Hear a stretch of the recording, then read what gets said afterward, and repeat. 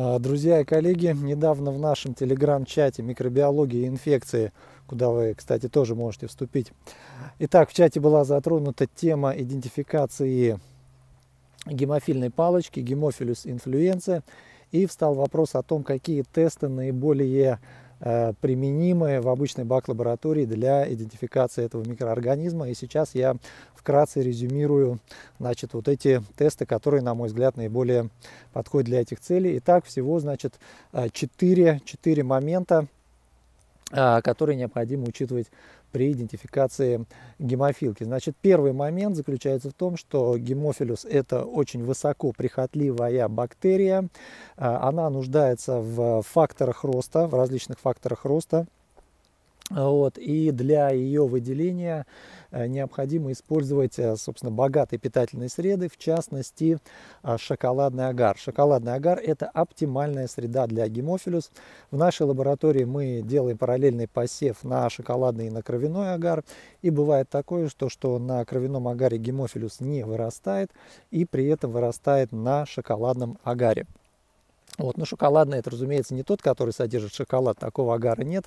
Шоколадный агар это агар с гретой кровью, потому что гретая кровь, в отличие от обычной крови, содержит э, в, из разрушенных эритроцитов поступают те факторы роста, которые нет на обычном кровяном агаре. Поэтому гемофилус на шоколадном агаре растет лучше. И если вы в параллели ставите посев на кровяной шоколадный агар, вы можете видеть, что на шоколадном агаре может наблюдаться очень скудный рост, очень мелкие такие колонии, в то время как на на кровяном агаре очень мелкие скудные каплевидные колонии, в то время как на шоколадном агаре тоже каплевидные колонии, но они гораздо более крупные, гораздо более развитые. Это первый момент, который может вам указывать на то, что вы имеете дело с гемофилюсом. Ну и, разумеется, необходимо сделать препарат, окрасить по грамму, и вы там увидите очень мелкие, ну их называют палочки, но на самом деле это кокобациллы, то есть нечто среднее между палочкой и коком. Главное, что клетки очень мелкие, гораздо мельче, чем, например, э, ну, например, те же стафилококки или палочки палочка. Итак, первый момент – это питательные среды. Значит, второй а, распространенный тест на гемофилус – это а, для, для него используются диски а, с различными факторами роста. Как правило, это три диска, три фактора роста, они продаются в наборах. И, соответственно, с помощью этих наборов вы можете провести дополнительные тесты, собственно говоря, по инструкции к этим наборам вы можете поставить и в зависимости от результатов тоже, собственно, идентифицировать гемофилус. Итак, диски с ростовыми факторами. Третий тест тест с бацитроцином. Вот, я думаю, большинство сейчас, сейчас вспомнит а, стрептококус пиогенес, пиогенный стрептокок, где мы тоже используем бацитроцин. Для гемофилюса мы тоже используем бацитроцин, но а, в другой концентрации. Это очень важно. Специально есть а, диски с бацитроцином именно для идентификации гемофилюса. Обращайте внимание, чтобы не купить, а, чтобы не использовать диски с бацитроцином для стрептокока. Итак, это был а, третий Э, момент. И э, четвертый момент, э, который позволяет нам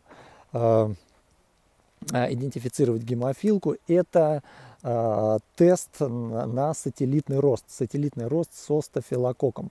Вот. Ну, в принципе, на мой взгляд, это наиболее простой и такой наглядный тест, который можно использовать в лаборатории, для которого не нужны никакие дополнительные реактивы, только лишь Э, кровяной агар, э, культура золотистого стафилокока, ну и непосредственно э, культура гемофилюса. Итак, принцип метода заключается в том, он еще называется стафилококковая кормушка. Значит, в чем здесь дело?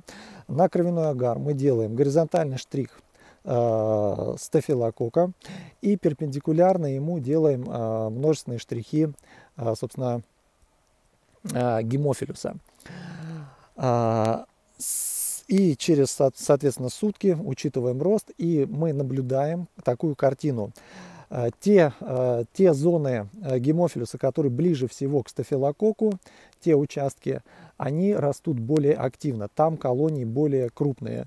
Чем дальше от штриха, от стафилококкового штриха, тем рост хуже. И, значит, на, на концах штрихов мы роста вообще не наблюдаем. То есть э, гемофилус растет, чем ближе к стафилококку, тем он растет лучше. Вот такой вот тест, сателлитный рост. То есть стафилококк стимулирует гемофилус. За счет чего это происходит?